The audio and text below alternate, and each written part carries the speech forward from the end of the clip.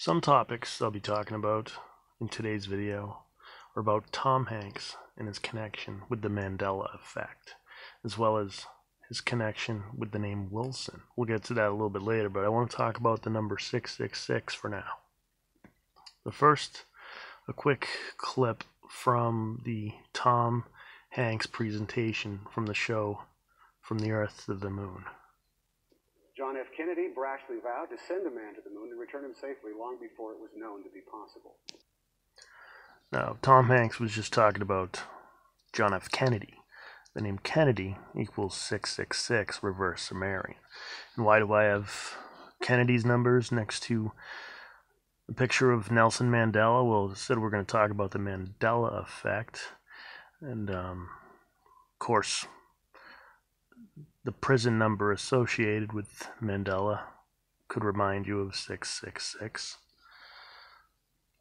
But, anyways, Kennedy has to do with NASA, Kennedy Space Center, Earth to the moon. Imagine what problems we could solve and the ills that we could cure if we chose to live the same way the people of Apollo did.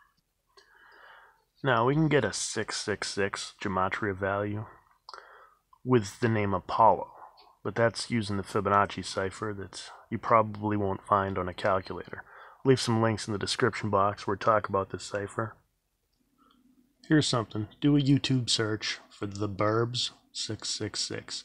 B U R B S 666. It's a Tom Hanks film from a long time ago. So there's that 666 scene, but also look up the Burbs nightmare scene. Watch till the end and you'll understand why by the end of this video.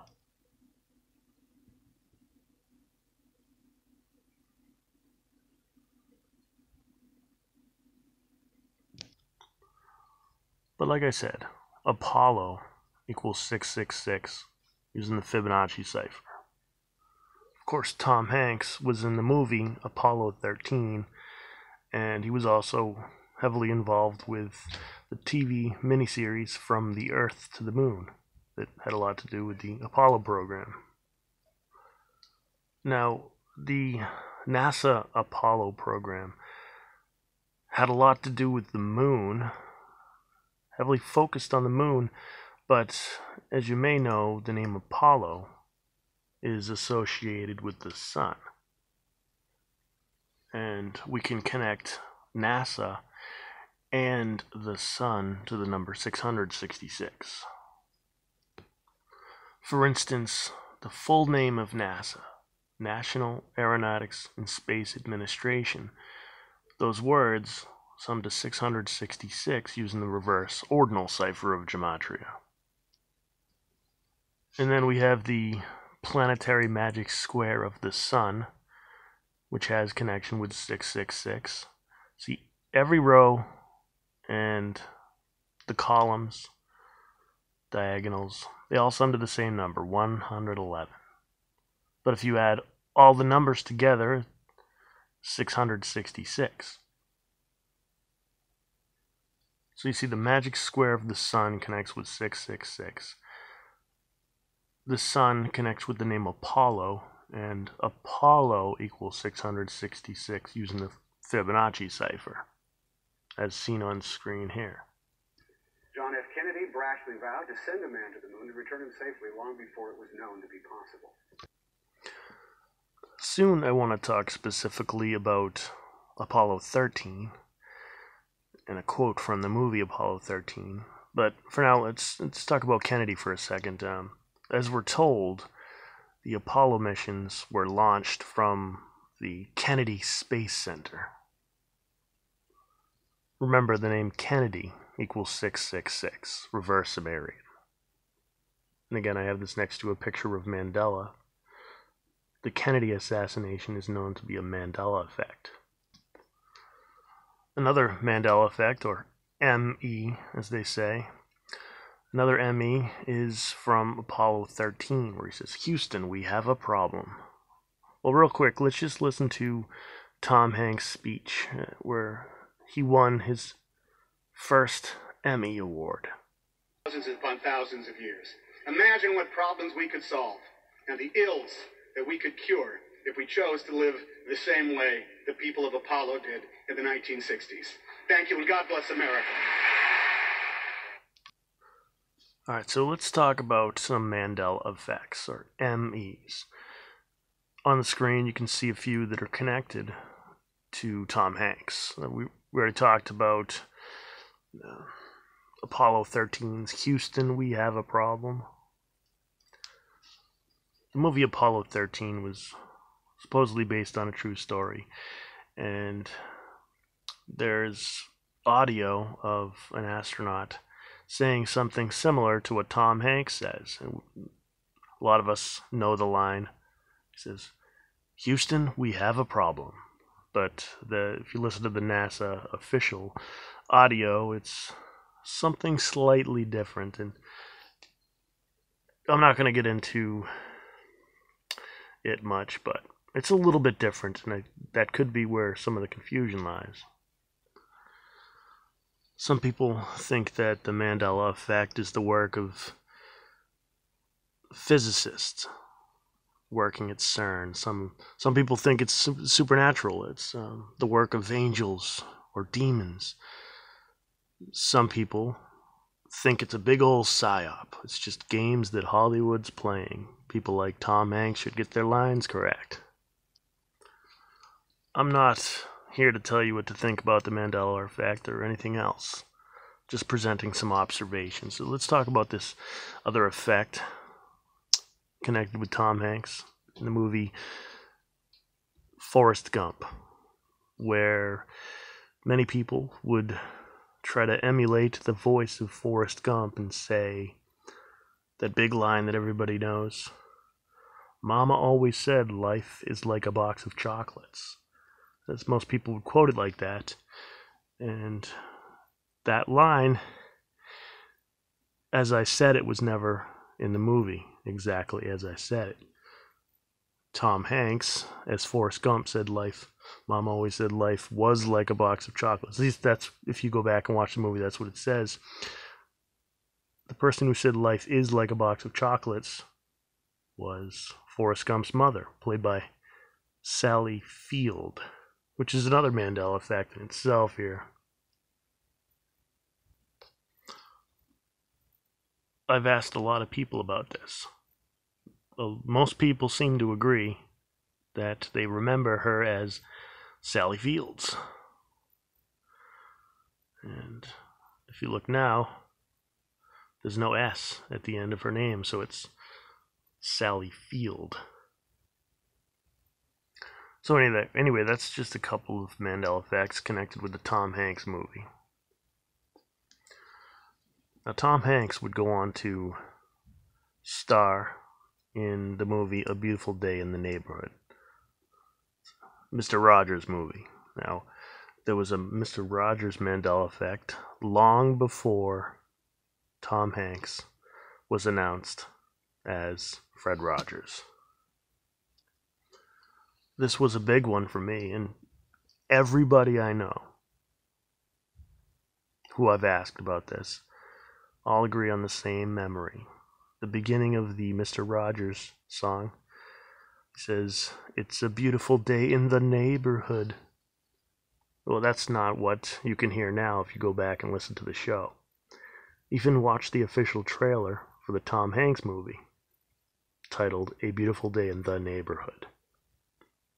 If you listen closely, you'll hear, It's a beautiful day in this neighborhood. It's a beautiful day in this neighborhood. What adds to the confusion is the title of the movie A Beautiful Day in the Neighborhood. It's a beautiful day in this neighborhood. I'll leave a link for the official trailer, but if you watch till the end, there's some children singing to him, and they sing It's a Beautiful Day in the Neighborhood, like everybody else seems to remember. And what's funny about that particular Mandela effect, Tom Hanks as Mr. Rogers, is that in the movie The Burbs, which I mentioned earlier with the 666 scene, if you do a YouTube search for The Burbs nightmare scene, you'll see Tom Hanks on a barbecue grill. Even the word barbecue is a Mandela effect for some people. So maybe there's something there.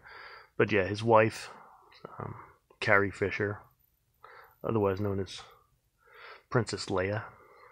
That might mean something to some. But yeah, he's on the barbecue grill. And I'll just show you real quick. His wife, in a spooky voice, says, Ray, it was nice of you to invite the new neighbors over for a barbecue, Ray. And then you see Tom Hanks as Ray on the big old barbecue grill. It's this real creepy satanic dream that he's having. In the DVD, it's called Devil Dreams, for whatever that's worth.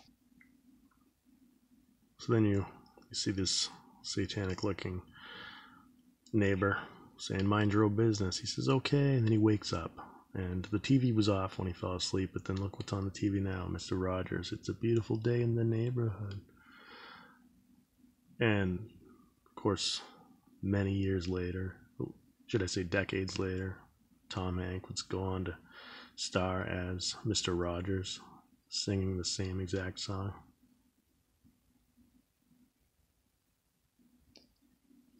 Anyway, it's pretty creepy, especially considering all the 666s.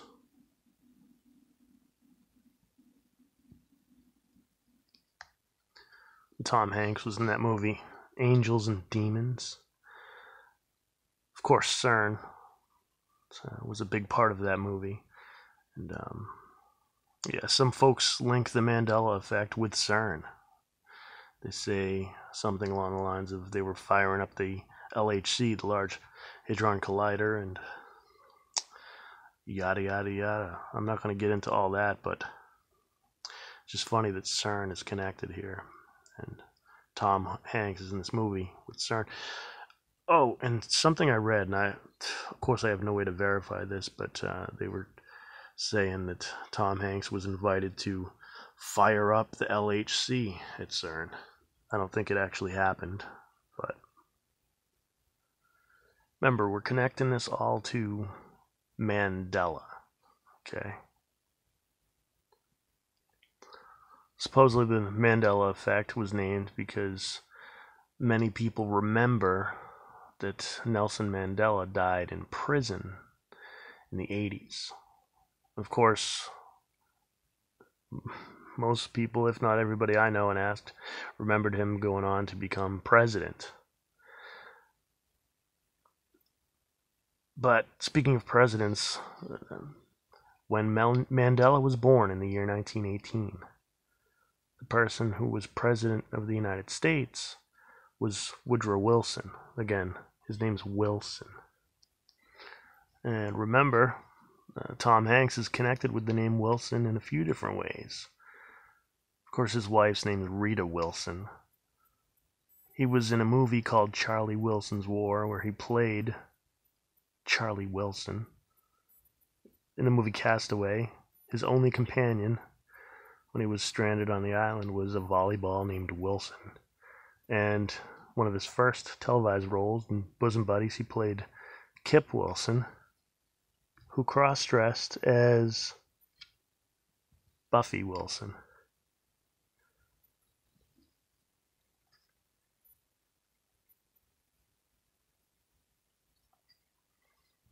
And once again, Woodrow Wilson was president when Mandela was born.